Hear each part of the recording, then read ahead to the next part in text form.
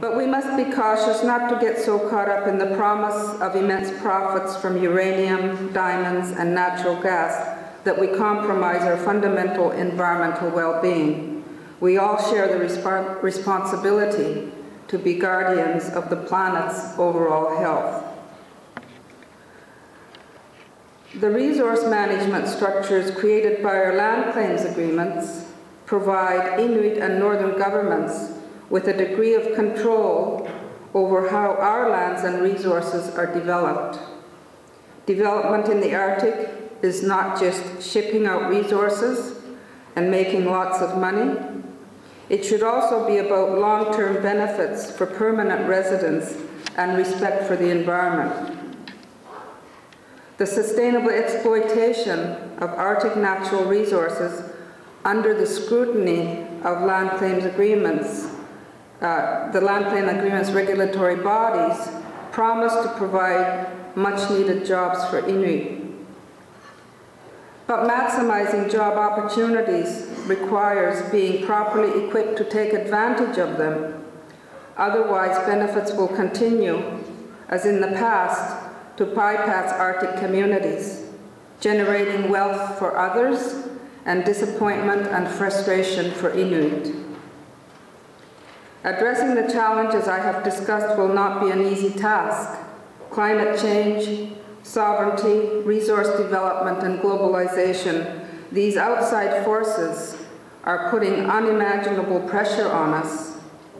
They are testing the adaptability of governments, businesses, and organizations locally, regionally, and internationally. I am encouraged by Canada's recent, action to file a complaint with the World Trade Organization over a ban on marketing of seal products in Europe.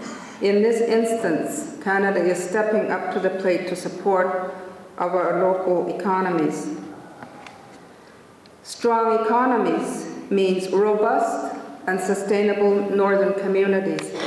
A healthy, confident, and prosperous northern population will create the foundation for keeping the Arctic so solidly within Canada. Arctic sovereignty depends on people who live and work in the North. For generations, Canadians have professed to be a northern nation. In reality, the Arctic has been on the margins of Canadian priorities. Recent events, however, are causing a shift Today, we are scrambling to respond to, to, Russia's planting of a flag on the ocean floor under the North Pole. A quarter of the world's hydrocarbons are probably in the Arctic Basin. No wonder countries other than Canada are laying claim to the Arctic. Control of Arctic seas, along with the fabled Northwest Passage, could indeed fall into the hands of others. Last summer, the Prime Minister visited the Arctic to announce plans for a deep water port at Nanisivik and an Army training base at Resolute Bay. He used this visit to promote a use it or lose it strategy for promoting Canada's sovereignty in the Arctic. In early October, he reinforced this new strategy by pledging to spend millions of dollars to improve the Port of Churchill rail connection. He also released details of a series of research projects as part of Canada's contribution to International Polar Year. He was again quoted as saying, like I have said so many times before, use it or lose it. It is the first principle of sovereignty. For Inuit, these comments were um, kind of uh, are, well, the, the comments were welcome in terms of what he had to say in other areas, but the lose it or use it comment was a bit ironic because Inuit have been living in and using the Arctic for millennia. And we have no intention of leaving the Arctic anytime soon. Coherent Arctic policies, both domestic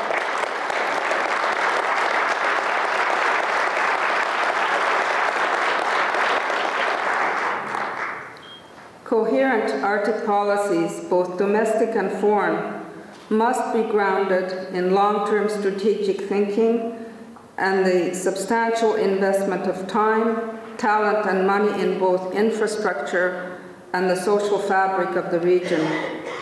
Arctic sovereignty rests on viable communities, sound civil administration, and responsible environmental management, not just ports, training facilities, and military exercises.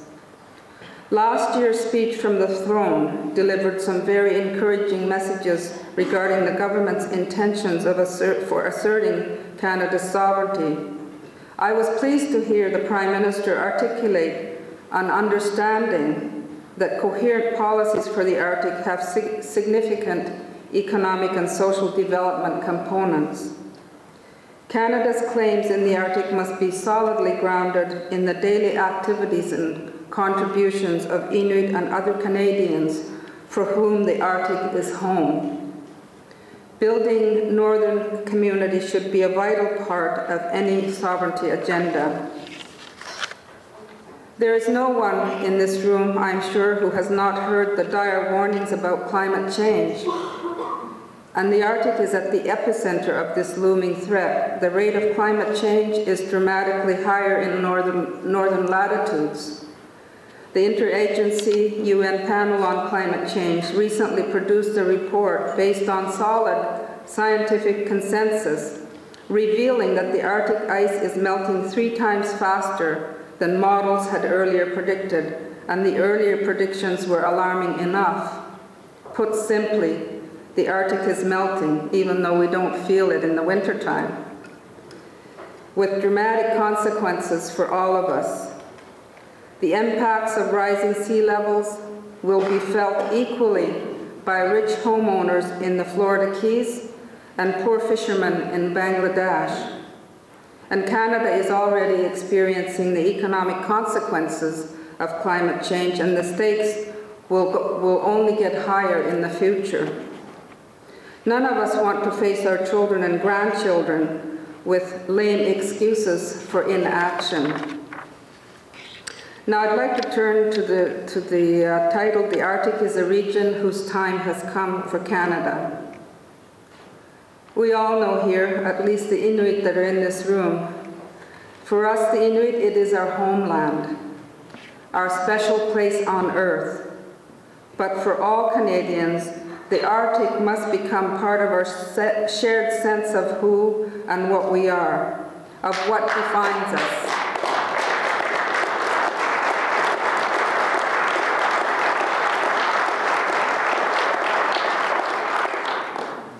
and what we are accountable for, not just a remote region with beautiful ice capes and polar bears. Part of that accountability is accepting that the Arctic is a place where people live, where families are raised, where problems need solving, and where natural resources exist that will continue to nurture the economic development of Inuit and Canada. An educated population ready to take up new jobs and economic opportunities in the North is the backbone of successful economic development. I encourage businesses to provide more opportunities for our youth, to stimulate them to finish school and pursue, pursue professions to assist them with scholarships and in other innovative ways the Northern Lights Conference and Trade Show will allow us to strengthen relationships between northern regions and to establish new relationships between southern and northern businesses. We will see cultural presentations and displays of regional art and artists. This is a unique opportunity for everybody who participates and attends the event to learn that the Arctic is a growing, diversified economic force. And let's remember, we are working to build a strong economy for our children who are our future.